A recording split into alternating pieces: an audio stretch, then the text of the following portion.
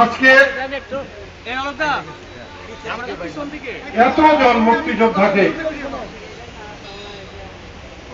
আমার সামনে দেখে আমার হৃদয় মন ভরে গেছে।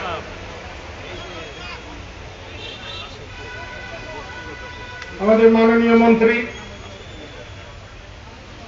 আজীবনের একজন রাজনৈতিক নেতা। আমি তাকে খুব পছন্দ করি, ভালোবাসি। শারীরিক অসুস্থতা নিয়েও তিনি এসেছেন। আমি সেজন্য তাকে ধন্যবাদ জানাই।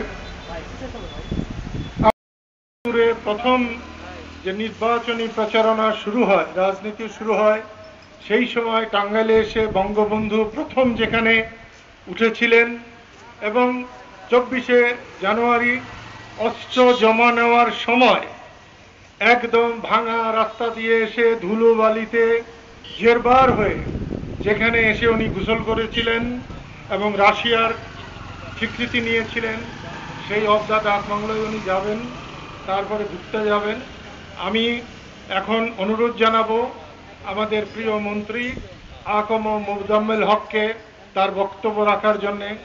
দুদিন আগে আমি কালিয়াপুরে গিয়েছিলাম আবুল কালাম আজাদ বাদলের একটি বই তার মোরক উন্মোচন করতে উনি অসাধারণ বক্তব্য দিয়েছেন আমার সম্পর্কে। আমি তো কারও সম্পর্কে অত ভালো বলতে পারি না।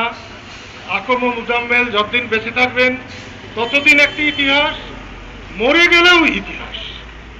উনিশে মার্চ একাত্তর, জয়দেবপুরে যখন জাহাঙ্গীর জেরবার, আরবার, পাকিস্তান সেনাবাহিনীর একজন ব্রিগেডিয়ার। তিনি জয়দেবপুরে সেকেন্ড বেঙ্গল রেজিমেন্টকে ডিজার্ম করতে এসেছিলেন। সেই সময় জয়দেবপুরবাসী যে প্রতিবাদ করেছিলেন, সেই প্রতিবাদের অন্যতম নেতা আমাদের আকম ও মুজাম্মেল। আজকে অনেকে অনেক বড় বড় কথা বলে বড় হয়, কিন্তু মুজাম্মেল সবাই হবে না। এবং তিনি মুক্তিযোদ্ধা মন্ত্রণালয়ে আছেন বলে আমি অভিভূত, আমি গর্বিত এবং কাদেরিয়া বাহিনী জাদুঘর প্রতিষ্ঠা দায়িত্ব তার হাতে পড়ায়। আমি গর্ববোধ করি, আনন্দবোধ করি এবং টাঙ্গাইলবাসী আমার সঙ্গে আনন্দবোধ করে। তিনি এখন আপনাদের সামনে। এখন দু কথা বলবেন। আকম